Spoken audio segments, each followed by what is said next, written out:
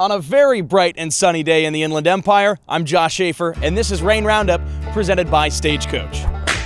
The Reign fell to Coachella Valley 5 4 in overtime Saturday at Toyota Arena. Rookie forward Martin Chromiak extended his point streak to seven games after scoring not one, not two, but three goals to record his first pro hat trick. He scored seven goals and recorded 11 total points during his streak. Aiden Dudas also scored for the Reign to extend his point streak to seven games as well. He's recorded nine points in that span while skating on a line with Chromiak. Every Reign goal on Saturday was assisted by TJ Tynan, making it his seventh career four point game.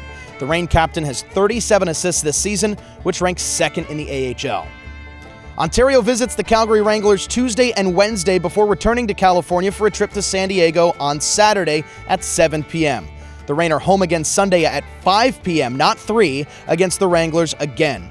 Get your tickets online at ontarioreign.com slash tickets and come celebrate Kingston's birthday.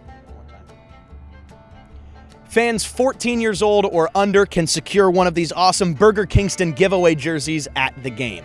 You can watch both the Saturday and Sunday game on AHL TV or listen live on ontarioreign.com slash radio. That's it for this week. We'll talk to you next time. Hopefully it's a little less bright on the next Reign Roundup presented by Stagecoach. Hi, I'm Taylor Ward. Klein leaves it a shot. Score! Taylor Ward! Thanks for watching the Ontario Reigns YouTube channel. Like and subscribe below.